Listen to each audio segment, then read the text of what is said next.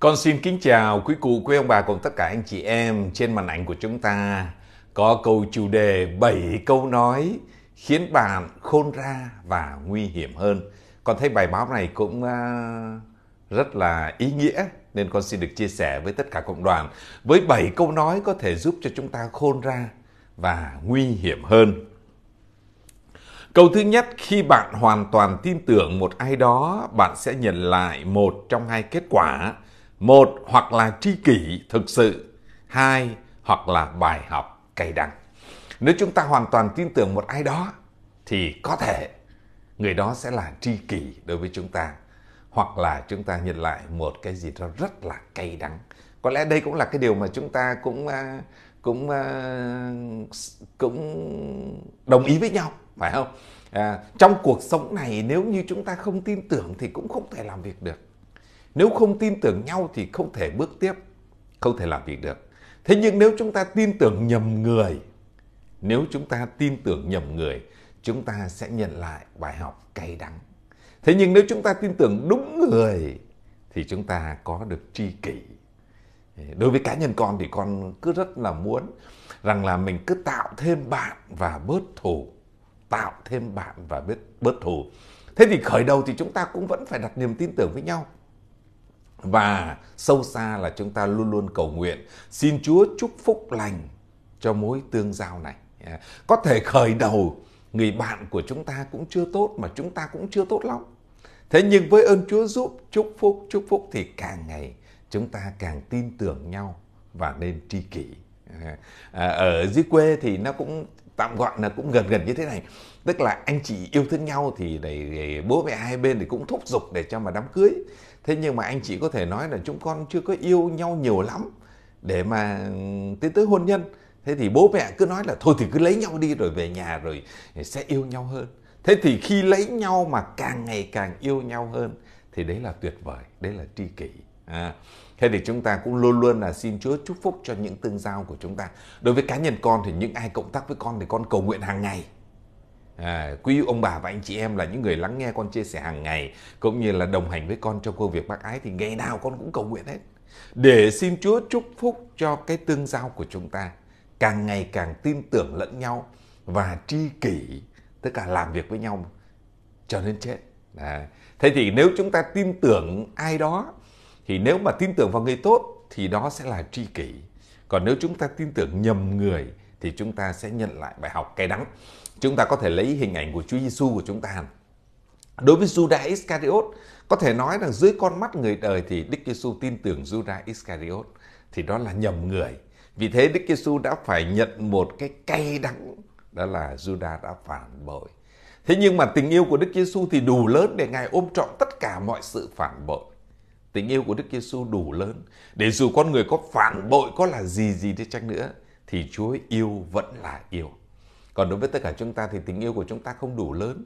Nên là một người phản bội thì chúng ta tan nát. À. Thế thì cái câu này nó dừng lại ở cái mức con người. Rằng là nếu chúng ta tin tưởng ai đó mà đó là người tốt, thì cái đức, cái niềm tin này giúp cho chúng ta trở nên tri kỷ. Còn nếu chúng ta tin nhầm người thì chúng ta sẽ nhận bài học cay đắng. Vì thế thì chúng ta luôn luôn cầu nguyện, xin Chúa ban ơn chúc lành để trong mọi tương giao của chúng ta đều là những tương giao tốt để nó sẽ kéo dài, nó sẽ là tri kỷ. Cái tương giao tốt thì sẽ là tri kỷ, sẽ là kéo dài. Còn cái tương giao sớm thì không tốt thì xin Chúa cũng à, cho nó tàn vỡ sớm đi. À, à, nhưng mà đối với cá nhân con thì con luôn cầu nguyện cho những người cộng tác với con để những người cộng tác với con luôn là tri kỷ tức là cùng với con làm việc và làm việc mãi mãi rồi câu thứ hai, trong bất cứ mối quan hệ nào, nếu bạn không được tôn trọng hãy ra đi, cho dù tình bạn hay là tình yêu. Tức là với câu này thì họ nhấn mạnh đến cái vấn đề tôn trọng. À, để cho cái tương giao tốt thì cần phải tôn trọng. Để vợ chồng sống được với nhau thì cần phải tôn trọng nhau.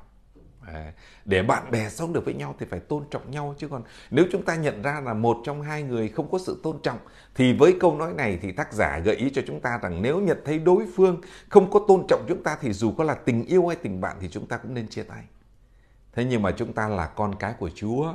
Nếu như chúng ta nhận thấy người yêu của chúng ta, người bạn của chúng ta có cái gì đó chưa tôn trọng chúng ta thì thôi thì chúng ta giúp họ.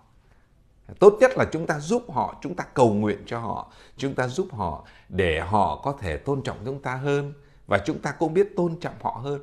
À, đối với chúng ta là những người Kitô hữu thì chúng ta không vội chia tay. Khi tương giao với một người không tốt thì chúng ta cũng chưa vội chia tay, nhưng chúng ta sẽ tìm cách và cầu nguyện để giúp cho họ tốt hơn và chúng ta cũng quảng đại hơn, tốt hơn.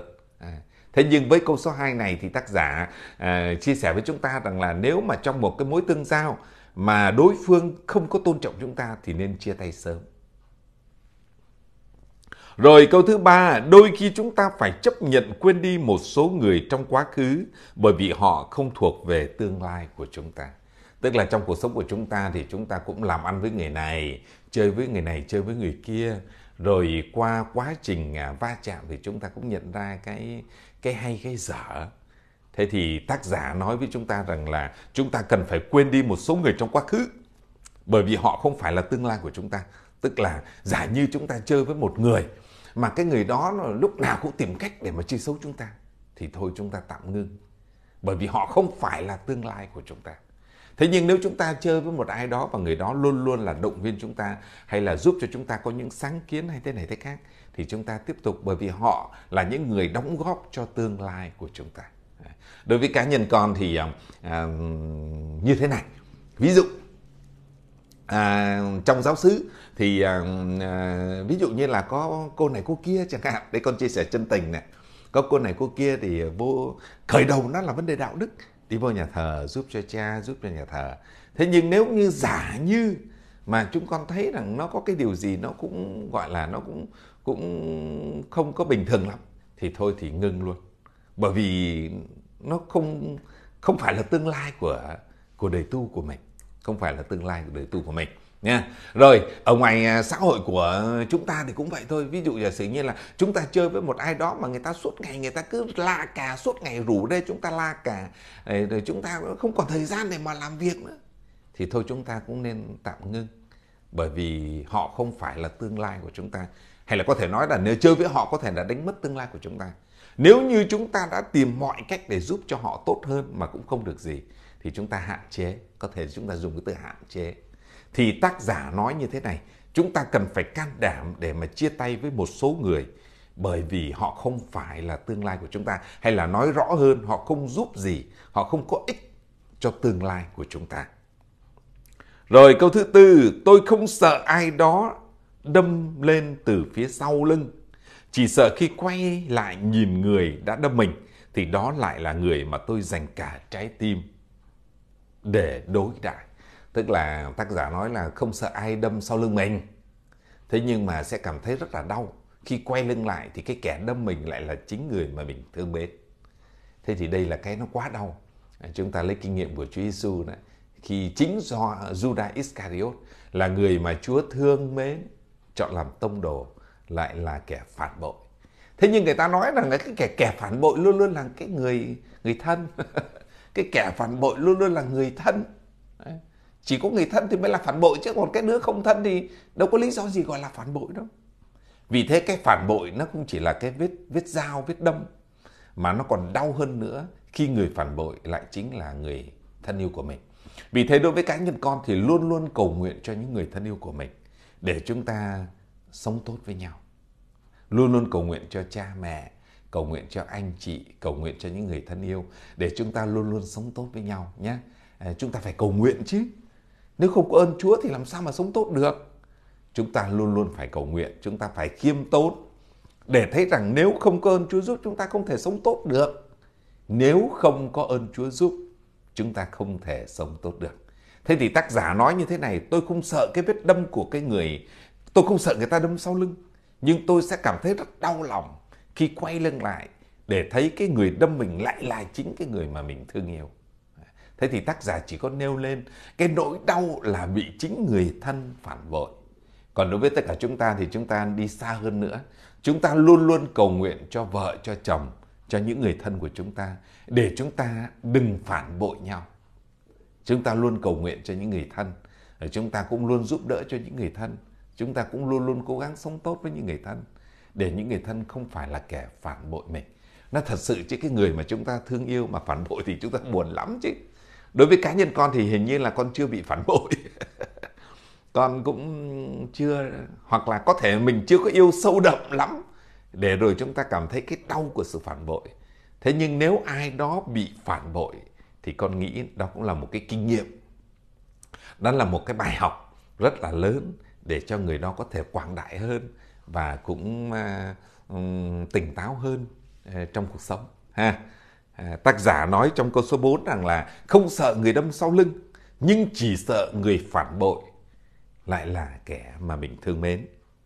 Rồi câu số 5 nếu ai đó ghét bạn mắng bạn chửi bạn bạn thực sự không quan tâm và chỉ mỉm cười lại đó là cao nhân nếu ai nói xấu chúng ta nếu ai chửi chúng ta nếu ai nguyền rủa chúng ta thì thôi chúng ta cứ mỉm cười. Chúng ta cũng người ta chửi mình mình chửi lại thì thì cũng như nhau. Người ta chửi tục thì mình cũng chửi tục lại thì cũng như nhau. Người ta đánh mình mình đánh lại thì cũng chẳng hơn gì. À, chúng ta luôn lấy um, yêu thương hay là cụ thể là uh, trong cái câu này tác giả nói là chúng ta lấy nụ cười để đáp lại những kẻ chơi xấu chúng ta. Chúng ta lấy nụ cười để đáp lại kẻ chơi xấu chúng ta. Đây cũng là một cái bài học cũng khá khá là khó đấy. Thế nhưng mà nếu chúng ta tập thì chúng ta sẽ được. Thường thì ai đó nói xấu chúng ta ai đó gọi là chửi bới chúng ta thì chúng ta dễ nổi đoá lắm. À, thế nhưng mà chúng ta hãy tập. À, buồn thì có thể là có buồn đấy nhưng chúng ta vẫn luôn luôn là mỉm cười với những kẻ chơi xấu mình. Đấy là cao thượng. À. câu số 6 càng trưởng thành tôi càng lười giải thích càng trưởng thành tôi càng lười giải thích. Cuộc sống là để sống không phải là để giải thích. Ai đó hiểu lầm mình thì cái cứ hãy để họ tự tìm câu trả lời. Cuộc sống của chúng ta ví dụ như là à, à, chị này à, chị nghe người ta nói rằng là cái cô kia cô nói chị là một cái đứa ăn cắp. Thế là chị phải tìm cho ra lẽ. Tìm người này tìm người kia đối chất đối chất đối chất cho ra lẽ. Thế nhưng tác giả trong câu số 6 nói rằng là càng lớn lên, càng trưởng thành tôi tôi càng cảm thấy là không cần phải giải thích gì cả. Ai đó nói xấu mình, ai đó hiểu lầm mình thì tự họ sẽ tìm câu trả lời. Mình không có hay thôi. Con thấy câu này con cũng cũng cũng rất là thích. Thỉnh thoảng thì con cũng bị cái tình trạng này, tức là à, ví dụ như người ta nói là trời công cha sở này gì đâu mà nóng tính, à, hay chửi rủa giáo dân. Thế con bảo ai nói? Chỉ cho tôi ai nói? À, thế nhưng mà con nghĩ là không nên như vậy. Ai nói xấu mình ai chửi mình ai hiểu lầm mình thì họ cũng phải tự tìm câu trả lời. Còn đối với tất cả chúng ta chúng ta sống thì chúng ta tìm việc tốt chúng ta làm. Chứ không phải sống là để giải thích suốt ngày cứ phải giải thích hết cho người này đến người kia. Ai thắc mắc gì tôi sẽ giải thích. Sống là để làm những cái việc tốt chứ không phải là giải thích gì cả. Người ta muốn hiểu lầm người ta hiểu lầm chúng ta thì, thì nếu mà họ thiện ý thì họ sẽ tìm câu trả lời. À, còn nếu không họ không thiện ý thì thôi kệ cứ để cho họ hiểu như thế. À, còn đối với chúng ta cuộc đời này là để sống và làm những việc tốt. Chúng ta không quá mất nhiều thời gian để phải đôi co để phải đối chất để phải giải thích. Nhưng mà thường thì cuộc sống thì con ở giáo xứ thì con cũng thấy rằng là nếu có những cái nói xấu hay có hiểu lầm đấy người ta cứ muốn là um, gọi là đối chất hay thế này thế khác. Thì con nghĩ là có lẽ không Câu này tác giả khuyên chúng ta rằng là nếu ai đó hiểu lầm chúng ta thì cứ kệ họ. Họ cần phải đi tìm câu trả lời nếu như họ muốn biết sự thật. Còn với chúng ta, chúng ta không cần phải giải thích gì cả. À, chúng ta không cần phải giải thích gì cả. Chúng ta cuộc sống này là để sống và làm việc thiện. Chứ không mất nhiều thời gian để phải giải thích cho những kẻ hiểu lầm. Chúng ta không mất nhiều thời gian để phải giải thích cho những kẻ hiểu lầm chúng ta. À, câu này cũng rất hay. ha Càng trưởng thành tôi càng lười giải thích. Cuộc sống là để sống, không phải là để giải thích. Ai đó hiểu lầm mình thì hãy để họ tìm câu trả lời. Ai đó hiểu lầm chúng ta thì họ phải tự tìm câu trả lời. Mình không bất giờ để phải giải thích cho những kẻ hiểu lầm chúng ta. Rồi câu số 7, bạn bè đến rồi đi. Bạn bè đến rồi đi. Người yêu cũng đến rồi đi. Chỉ những người chỉ có những kẻ soi mói và nói xấu bạn là ở lại và ngày càng đông hơn. Câu này thì hơi ờ, hơi ờ, hơi buồn hơi tiêu cực một chút. Tức là bạn bè rồi cũng đi người yêu rồi cũng đi. Chỉ có những cái kẻ soi mói thì sao mà nó cứ ở với mình mãi? Câu này thì nó là câu nó có hơi buồn nhưng mà cũng là một thực tế. À, đôi khi chúng ta thấy rằng là người bạn bạn bè bạn tốt cũng rất là ít.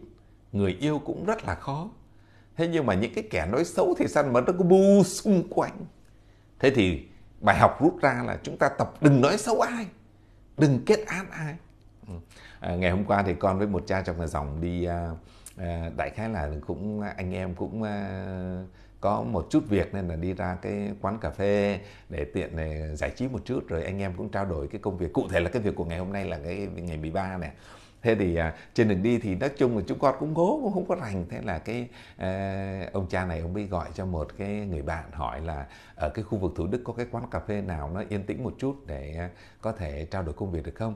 Thế thì người ta hỏi như vậy thì thay vì trả lời là ở ờ, có cái quán cà phê đó ở cái đường đó không? Mà ủa cha đang đi với ai vậy? Vô duyên. Người việt nam của chúng ta nó hay bị cái tội mà soi mói người ta hỏi quán cà phê ở đâu thì bảo là, nếu biết thì chỉ, còn không biết mà ờ, không biết. Người ta hỏi quán ở đâu thì lại hỏi, để hỏi ngược lại là, ủa, cha đi với ai vậy? Vân vân. Cái người Việt Nam của chúng ta là hay như vậy. Thế thì cái câu số 7 nói với chúng ta rằng là, bạn bè rồi cũng ra đi, người yêu thì cũng ra đi. Hay là, bạn bè thì hiếm quá, người tốt thì hiếm quá, nhưng mà cái kẻ soi mói thì sao mà nó ở đâu mà nó đông thế? Thế thì rút ra bài học, chúng ta đừng nên ờ, soi mói đời tư của người khác đừng nên soi mói đời tư của người khác. À, chúng ta hãy dành thời gian để đọc kinh cầu nguyện đi lễ và làm việc thiện. À, chứ cũng không nên đấy nếu có nhìn người khác thì nên nhìn cái tốt. À, chứ đừng có nhìn à, đừng nhìn với con mắt uh, tiêu cực nhìn ra những cái xấu. À, bạn tốt ở đâu rồi? Người yêu ở đâu rồi? À, những kẻ nói xấu nhau mà sao lúc nào nó cũng như là quân nguyên như vậy nó đông như vậy? Kính thưa cộng đoàn đó là bảy câu con thấy cũng rất là hay rất là ý nghĩa. Ờ, đọc cho cộng đoàn để chúng ta cũng thêm ờ, ờ, sự khôn ngoan của các bậc danh nhân nha. Rồi con xin được đọc lại bảy câu này. Câu thứ nhất, khi hoàn toàn tin tưởng một ai đó, bạn sẽ nhận lại một trong hai kết quả, hoặc là một tri kỷ thực sự, hoặc là một bài học cay đắng. Nếu chúng ta tin tưởng ai đó thì có thể người đó nếu là người tốt thì họ là tri kỷ của chúng ta. Mà nếu chúng ta tin tưởng nhầm người thì chúng ta sẽ nhận bài học cay đắng. Câu thứ hai, trong bất cứ mối quan hệ nào, nếu bạn không được tôn trọng, hãy ra đi cho dù là tình bạn hay tình yêu. Nếu chúng ta không được tôn trọng thì hãy chia tay.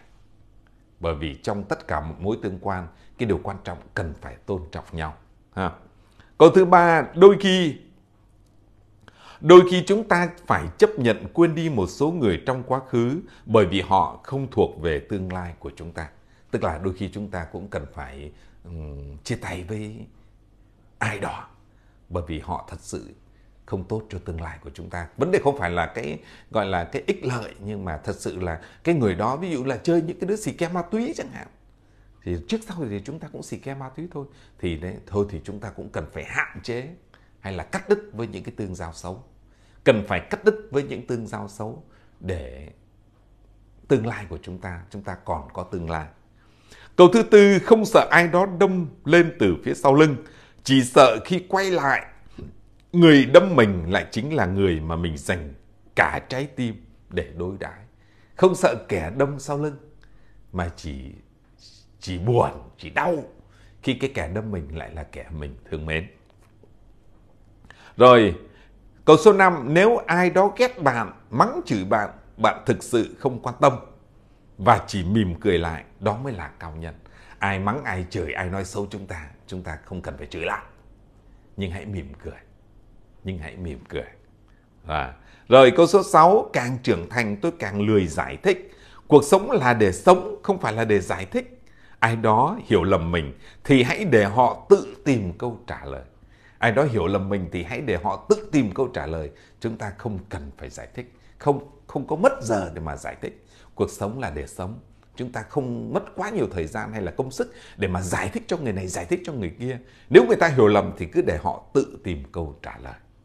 À, câu số 7 bạn bè đến rồi đi, người yêu cũng đến rồi đi. Chỉ những kẻ soi mói và nói xấu bạn là ở lại và ngày càng đông hơn. Người tốt thì hiếm, người yêu thì cũng hiếm. Nhưng mà những kẻ nói xấu, những kẻ mà soi mói chúng ta thì sao mà nó cứ bu xung quanh chúng ta? Vì thế, chúng ta hãy quyết tâm. Đừng soi mói người khác. Đừng nói xấu người khác. Đừng xét đoán người khác. Chúng ta hãy tập sống tốt cho bản thân mình và cư xử tốt với mọi người và tôn trọng đời tư của những người xung quanh chúng ta. Con xin hết lòng cảm ơn sự lắng nghe của cộng đoàn. Xin chúa chúc lành cho tất cả chúng ta. Amen.